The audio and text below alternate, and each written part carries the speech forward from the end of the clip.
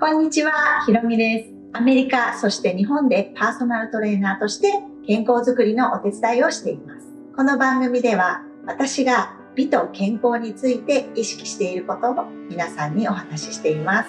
前回までは食事、運動、ストレスへの対処、睡眠、髪と肌、姿勢のケアについてお伝えしてきました。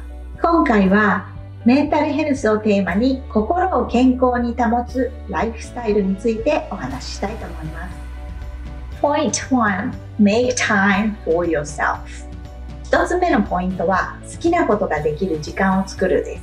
適度なストレスは必要ですが、ストレスが溜まりすぎると心にも体にも悪影響が出てしまいます。週に何度かは好きなことをする時間を作って上手にストレスを発散しましょう。私はダンスをしたりトレーニングをすることが大好きです。運動はハッピーホルモンと呼ばれるセロトニンやエンドルフィンが出るので特におすすめです。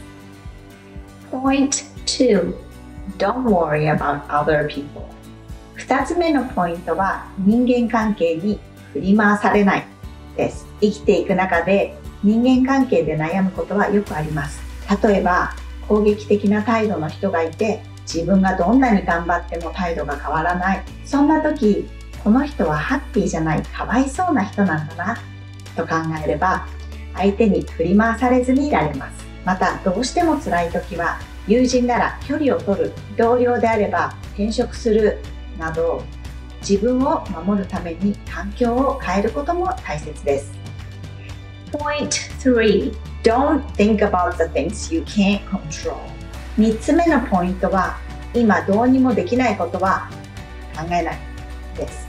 心配事を抱えてベッドに入ると不安で眠れなくなることがありますが心配事は脳を興奮させてしまいます。眠れなくなると余計に不安になり負のスパイラルにはまってしまいます。どんなに考えても今は解決しないからとりあえず寝ようと気持ちを切り替えて深呼吸をしてみましょう。Point 4 The importance of good mental health メンタルヘルスは世界でも健康にとって大切なものだと考えられています。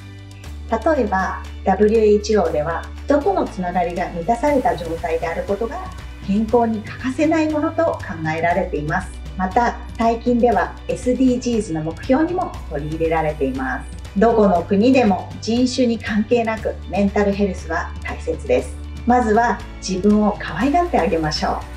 次回は A Working Mother をテーマに働く女性が美しさを保つための習慣についてお話ししていきます。ぜひご覧ください。See you next time!